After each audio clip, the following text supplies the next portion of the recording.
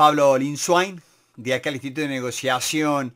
Recién termino de hablar con un cliente, ¿no? Que venimos de una negociación más de seis meses, ¿no? Y, todo esto se trata de controlar nuestras reacciones, ¿no? Y le decía, mira, somos dueños de nuestras buenas acciones.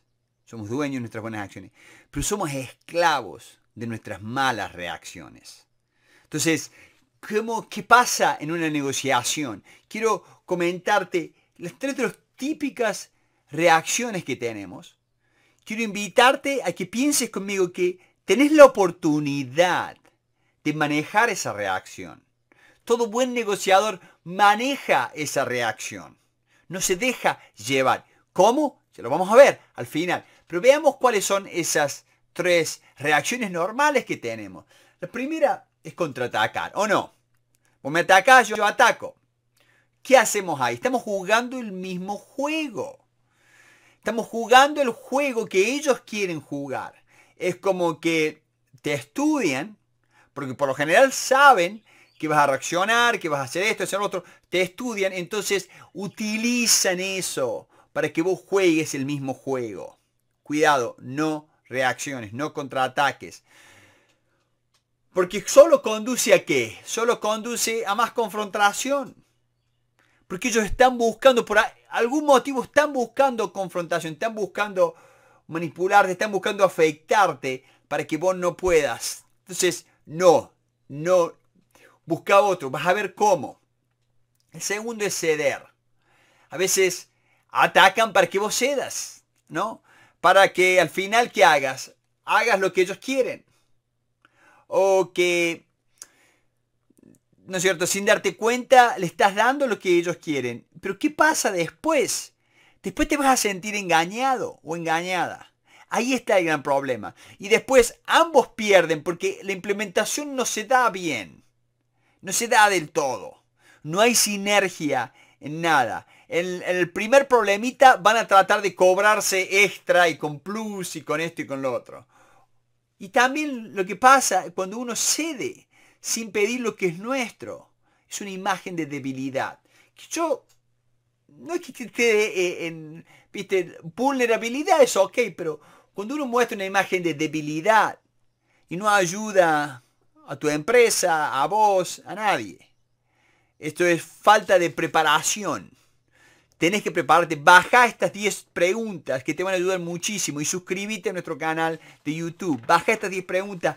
Mira, porque es cuando cedemos es porque no sabemos cuáles eran nuestras opciones. Hay una persona que me preguntaba, ¿cuál es la diferencia entre opciones y alternativas? Las opciones son lo que yo presento en la mesa.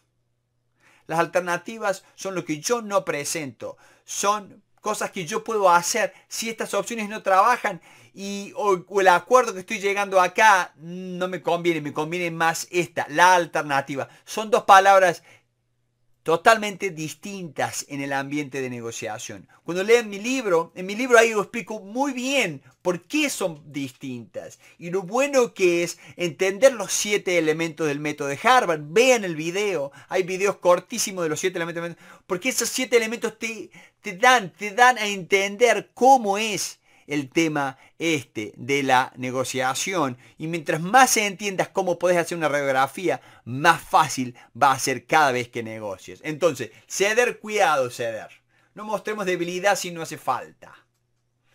Este, no nos hace falta. Y el otro punto, ¿cómo reaccionamos? Rompemos la relación, no contestamos, nos vamos del grupo de WhatsApp sin decirle a nadie y, o, mandamos un mensaje este, eh, desagradable para todo el mundo y dejar todo el mundo. O cerramos la puerta o hacemos eso. ¿A quién le, a quién le sirve? Ah, lo hacen desesperado, lo hacen en forma apresurada, lo hacen sin, sin, sin pensar, no, no le sirve a nadie este, por lo general es, es, producto de un narcisista, de una persona con, con, problemas, está, o sea, como que tienen miedo al conflicto. El conflicto es bueno. El mal conflicto es la manipulación dentro del conflicto, no saber discutir, no saber llegar a, a, una resolución, pero, pero dos cosas que se encuentran en conflicto y bueno, hay que resolverlo. Cuando estamos resolviendo un problema, estamos resolviendo un conflicto, es un problema. trabajemos en él, busquemos alternativas, veamos cómo. Acá te voy a explicar cómo llegar a eso. Pero bajo nada, bajo nada, tenemos que reaccionar. Controlemos eso. Lo que no podemos hacer es la acción del otro. Yo no puedo controlar la acción del otro, pero yo sí puedo controlar mi reacción. Ahí está el secreto de muy buenos y todos los buenos negociadores. Cómo controlar y cómo hacemos. Lo primero que tenemos que hacer, lo dijo Willen Uri en su libro este, Paz, eh, Paz de No. ¿No es cierto? ¿Qué, es lo que dice? dice, lo que, tenés, que tenés que hacer es tomarlo con calma, subir al balcón. Él usa una metáfora, el balcón, subir ese lugar donde podés pensar, podés analizar lo que está pasando. Te invito a que hagas eso. Fundamentalmente cuando necesitemos que analizar a alguien que actúe irracionalmente, alguien que actúe en forma em, em, em, manipulativa, eh, ¿no es cierto?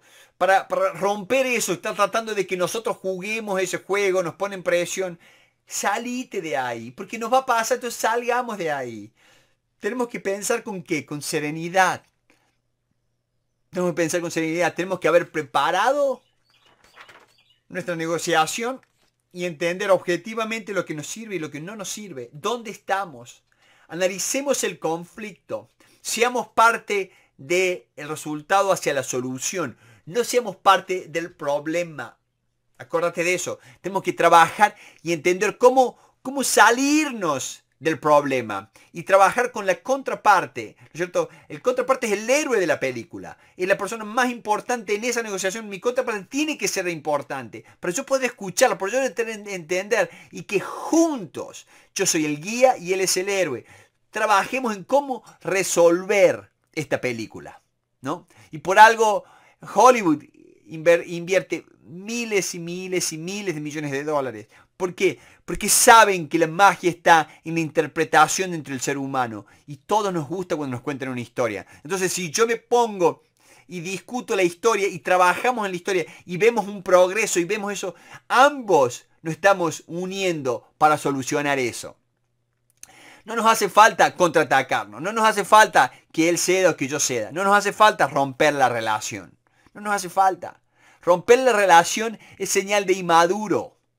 Porque la relación es uno de los siete elementos del método de Harvard. Entonces, baja, mira los videos que tenemos acá de los siete elementos del método de Harvard y te va a ayudar cómo estos siete elementos son claves si quieres ser un buen comunicador, si quieres ser un buen líder. El buen líder nunca rompe la relación. El buen líder nunca rompe la comunicación. El buen líder se se fija que haya legitimidad en las opciones que pone.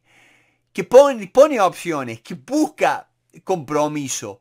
Ama el compromiso, busca el compromiso, confía en sí mismo. Por eso, subite al balcón, toma, esa toma actitudes, empezá a pensar las cosas con calma. Busca dónde podemos solucionar, cómo podemos trabajar en el conflicto, entender este conflicto, utilizando esa, esa metáfora.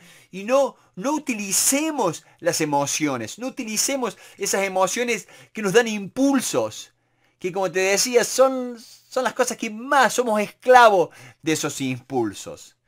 ¿no? Tenemos que ser dueños de todas las buenas decisiones que tomamos. Las buenas decisiones se van tomando gracias a qué? Gracias a que estamos calmos, que estamos objetivos. Y vamos a ser irracionales. Yo no digo que todos tenemos que ser racionales, porque no es el caso. No todas las decisiones van a ser racionales. No se toma, el hombre, el ser humano no toma todas las decisiones racionales. Toma las decisiones muchas veces en, en, muchos aspectos irracionalmente porque se siente bien, porque la emoción es parte de eso. Pero no contraataques no juegues el juego, no cedas por ceder. ¿No es cierto? Porque te sentís mal, o si te sentís mal, ese gusto feo, si no te cedes y no rompa la relación por apresurado. Porque lo que siempre pasa es que después se lamentan. Se lamentan y vienen con comentarios insólitos. Y eso no nos ayuda.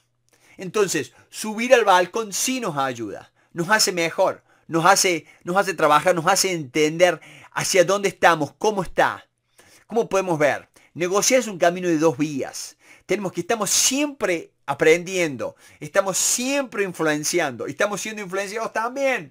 Y estamos, es un trabajo que, que anda y anda y anda. Por eso te invito a que ves este video, a que nos comentes qué es lo que más te gustó. Me encanta la gente positiva. Y vos sabés qué, la gente positiva, cuando escribe algo positivo, le mejora el día. Yo lo hago siempre. Eh, comparto algo positivo con alguien, con alguna de, nuestras personas, con algún proveedor, con alguien, comparto algo positivo, porque eso me energiza a mí y eso genera. Y no hay nada más lindo que ayudar a otro. Te invito, Pablo Linswain, de acá del Instituto de Negociaciones, que compartas algo positivo que aprendiste de esta reunión, de este video. Y te felicito que veas este video, porque todo líder necesita esta e, este habilidad, este skill, que es el negociar. Pablo Linswain, de acá del Instituto de Negociación, les mando un fuerte abrazo. Espero ver tu respuesta, tu pregunta, perdón. Y, y quiero escuchar, primero que te suscribas, pero quiero escuchar qué es lo que más te gustó. No te olvides de eso. Muchas gracias, suscríbete al canal y seguinos. Te mando un fuerte abrazo. Gracias.